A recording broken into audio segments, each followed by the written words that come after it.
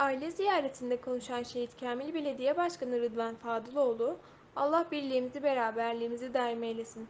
Allah'ın izniyle birbirimize sarıldığımız müddetçe daha ileriye hep birlikte koşacağız dedi.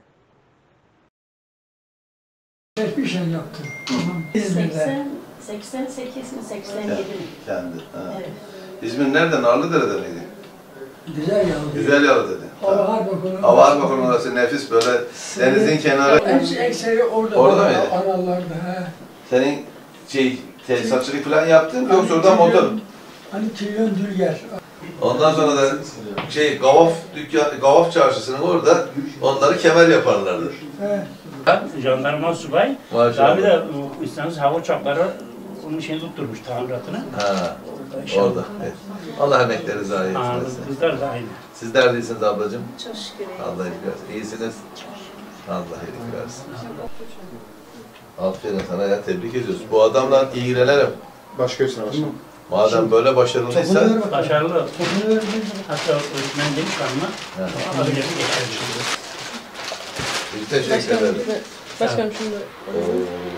İnşallah. Yarın okursun, büyürsün, büyük adam olursun, gerçeğine binersin inşallah. Allah bu devletimize, milletimize, Cumhurbaşkanımıza güç kuvvet versin.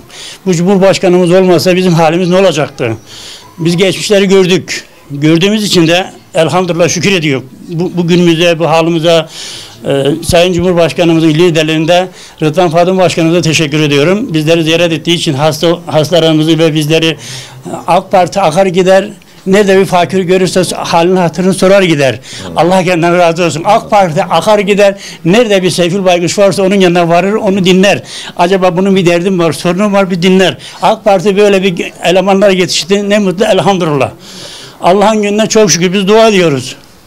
Çok dua ediyoruz. Allah böyle büyüklerimizi de başımızdan eksik etmesin. Allah dinimizi, vatanımızı, milletimizi, ordumuzu galip muzaffer etsin. Din düşmanına fırsat vermesin.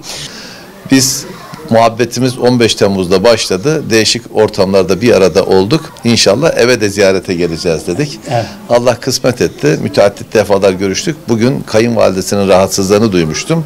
Kayınvalidesinin rahatsızlığı münasebetiyle bir geçmiş olsun dileyelim dedik.